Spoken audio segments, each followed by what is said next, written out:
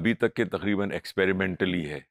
कोई ऐसी जगह नहीं है जहाँ पे इससे इतनी एनर्जी निकाल सकें कि उसका कोई इस्तेमाल हो सके। लेकिन प्रिंसिपल जो है वो बहुत ही इंपॉर्टेंट uh, है जिसका इसके लिए मैंने इस, इसमें इंक्लूड किया है। क्योंकि uh, आपको पता है कि uh, अब जो सतह जो जो समंदर का जो सरफेस एरिया है वो दुनिया के सरफेस एरिया से सत्तर फ़ीसद सिर्फ़ समंदर है ना? तो समंदर पे इसका मतलब अगर सूरज जब पड़ रहा है तो वो हमने इंसुलेशन देखा था कि कितना पड़ता है two calories per centimetre square per hour तो वो वो सब पानी में भी पड़ रहा है तो इसका मतलब सारी एनर्जी पानी एब्जॉर्ब कर रहा है। तो सत्तर फ़ीसद जो अगर सरफेस एरिया दुनिया का पानी है तो इसका मतलब पानी की सरफेस में बहुत ज़्यादा एनर्जी मौजूद है, जिसको अगर हम किसी तरीके से टैप करें तो उसका, उससे हम बना सकते हैं कुछ ना कुछ दूसरे किस्म की एनर्जी जो कि ज़्यादा यूज़फुल हो।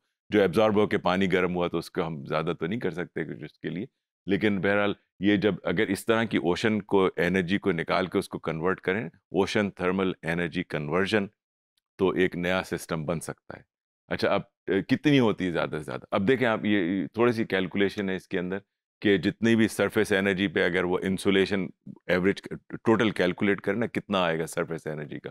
तो 250 billion barrels of oil 250 billion barrels of oil ये इतना हर दिन में इतने, इतनी उसमें एनर्जी होती है कि किसी तरीके से उसको अगर आप कन्वर्ट करें, छोटा भी सा भी फ्रैक्शन उसका कन्वर्ट कर लेना तो काफ़ी सारी उसमें से बिजली निकल आती है। निकल सकती है। तो इसको इसको ओटैक कहते हैं। अब उस ओटैक में अब जितनी सारी जो एनर्जी सूरज की आती है, वो सिर्फ़ समंदर की सरफेस को गर्म करती है। नीचे वही टेम्परेचर रहता है, बल्कि एक कांस्टेंट टेम्परेचर रहता है। अभी मैं उसको आपको तस्वीर दिखाऊँगा। तो इनके बहुत सारे सिस्टम इन्होंने बनाए हैं कि जिसको क्लोज साइकिल क्लोज साइकिल का मतलब है कि वही पानी चल रहा है, वही पानी निकल रहा है, उसी से काम चल रहा है। या ओपन सर्कल के पानी लिया, उसका इस्तेमाल किया और फेंक दिया। और या फिर दोनों को मिक्स करके बनाए तो इसको एक हाइब्रिड किस्म का सिस्टम बना सकते हैं। तो ये तीनों चीज़ें तीनों किस्म के सिस्टम होते हैं, जिसको मैं आपको समझाऊँगा कि कैसे हो सकता है। अब जो पानी, अब जो समंदर में अगर आप जाएँ, पानी में हाथ लगाएँ तो ऐसा तो नहीं है कि पानी बॉयल हो रहा हो या गर्म हो रहा हो कि उसमें हाथ भी नहीं रख सकते तो पानी उमन तो वही होता है, बीस बाईस डिग्री सेंटीग्रेड का टेम्परेचर उसका, उससे ज़्यादा तो नहीं हो सकता। तो बीस बाईस डिग्री सेंटीग्रेड में हम पानी तो उबाल नहीं सकते, है ना? जितनी एनर्जी कितना भी कलेक्ट कर लें, लेकिन पानी नहीं उबाल सकते। अब पानी उबालना क्यों है? वो तो मैंने आपको कई मरता समझाया कि पानी से उबालने से स्टीम बनी स्टीम से टर्बाइन चला टर्बाइन से इलेक्ट्रिसिटी बनी।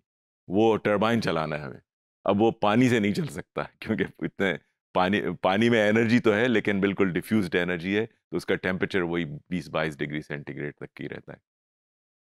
तो और भी कुछ लिक्विड्स हैं, जो कि रूम टेम्परेचर पे वो होते हैं गैस की तरीके से होते हैं। जैसे अमोनिया है, एक बहुत अच्छी गैस अच्छी तो नहीं है, वो उसकी बहुत से ख़तरात हैं। लेकिन बहरहाल अमोनिया गैस ऐसी है, जिसका बॉइलिंग पॉइंट जो है minus thirty three point five degree centigrade इसका मतलब है कि रूम टेम्परेचर पे वो गैस की सूरत से होती है। अगर इसको कंप्रेस करें तो वो लिक्विड बन जाती है और minus thirty three degree thirty three point five degree centigrade पर ले जाएँ तो वो बिल्कुल लिक्विड बन जाएगा। तो अगर इसको लेके चले ना, अब माइनस थर्टी थ्री से ट्वेंटी टू तक के तो पचास डिग्री का फ़र्क है। तो अगर आप इसको थोड़ा सा जो समंदर का पानी कलेक्ट करके उससे इंटरेक्ट करें, ना हीट एक्सचेंज करें, वाला, वो आपके पास स्टीम के बजाय, पानी के बुखारात के बजाय स्टीम अमोनिया के बुखारात मिलेंगे। तो वो जो काम तो वही करना है दोनों ने, एनर्जी इतनी, उनकी पचास डिग्री डिफरेंस है तो बहुत सारी एनर्जी आ जाती है। तो वो वेपर्स, अमोनिया के वेपर्स लेके फिर उससे आप टरबाइन चलाएँ और उससे फिर इलेक्ट्रिसिटी जनरेट करें। बहुत आसान सा प्रिंसिपल है। अमोनिया का है मसला एक तो ख़तरा है उसमें पॉइजनस भी है और ये है वो है सब कुछ है। दूसरे कि उसको महँगी है तो उसको फिर क्लोज साइकिल में ही चल सकता है कि वो एक अमोनिया ली उसी से सब चलता रहा सारी ज़िंदगी उतने छोटे अमाउंट से। लीकेज वगैरह थोड़ी बहुत हुई तो शायद लगा दिया थोड़ा सा और वरना तो वही अमोनिया चलती रहती है। अगर बार बार चेंज करनी पड़े तो फिर इसकी फिजिबिलिटी नहीं रह जाती है। हाँ, तो इसको देखें आप क्लोज साइकिल में कैसे चलता है। पहले ये समझ लें कि ऊपर जैसे मैंने आपको बताया था, बीस बाईस तक के टेम्परेचर चला जाता है तो सतह का, सतह ज़मीन का टेम्परेचर लेकिन जब आप नीचे जाएँगे, जिसे थर्मोक्लाइन कहते हैं, उसके बाद जाके वो टेम्परेचर बिल्कुल ठंडा होता जाता है। ठीक है ना? तो समंदर की नीचे जैसे ज़्यादा से ज़्यादा जाते जाएँगे सतह में तो उसका टेम्परेचर कम होगा, लेकिन वो मेंटेन करते रहते हैं। यानी कि बिल्कुल फ्रीज हो जाए नीचे जाके तो फ्रीज नहीं हो सकता, क्योंकि नीचे फिर ज़मीन का टेम्परेचर भी ज़्यादा है, जो हम अब देखेंगे जियो एनर्जी के अंदर। तो ये जो ऊपर वाली सतह का स्टेप देखें आप कितना गर्म है और उसमें एनर्जी कितनी ज़्यादा है। वो अगर हीट कैपेसिटी से मल्टीप्लाई करें तो आपको उसको निकल आएगा कि कितनी वहाँ पे हीट मौजूद है। जो मैंने अभी बताया कि billions of barrels of equivalent of oil per day energy इतनी ऊपर मिल जाती है। अब वो वो वो ऊपर वाला सिर्फ़ पानी लेना है और उसको हीट एक्सचेंज करना है अमोनिया से। अमोनिया बॉयल होगी बॉयल होके फिर वो आ, आपका टर्बाइन चलाएगी और आपसे उससे एनर्जी इससे क्रिएट होगी। ये है लेफ़्ट साइड पे इवेपोरेटर है, जहाँ पे गर्म पानी आया, उसने अमोनिया को इवेपोरेट किया और इवेपोरेट करने से जो उसके जो बने हैं ना बुखारात, उससे वो टर्बो चला। टर्बो के बाद कंडेंसर में जितने भी वो अमोनिया थी, उसको दोबारा कंडेंस किया। कंडेंस होने की वजह से फिर वापस उसको रिसाइकिल कर दिया। तो वो एक क्लोज सर्कल है, वो चलता रहता है अमोनिया का, जिसकी वजह से अमोनिया लॉस नहीं होती और उसकी वजह से वो फीजेबल हो जाती है। ये क्लोज सर्कल है क्लोज सर्किट है। अब ये उसकी कुछ और चीज़ें भी हैं मुख्तलिफ़ किस्म के डिज़ाइन देखें। अब मैं हर एक डिज़ाइन के अंदर वो नहीं जाऊँगा डिटेल में, लेकिन सारे का मकसद यही होता है कि किस तरह हीट एक्सचेंज सारे डिज़ाइन जो हीट एक्सचेंज का है। किस तरह से अमोनिया की जो गर्म पानी है, उसकी हीट जो है अमोनिया को आए अमोनिया बने, फिर उससे टर्बाइन चले, फिर उसको कूल करके दोबारा अमोनिया बनाए। फिर वो चलता रहे इस तरह। सारी ये डिज़ाइन जो है, वो यही काम कर रहे हैं, और कुछ काम नहीं है।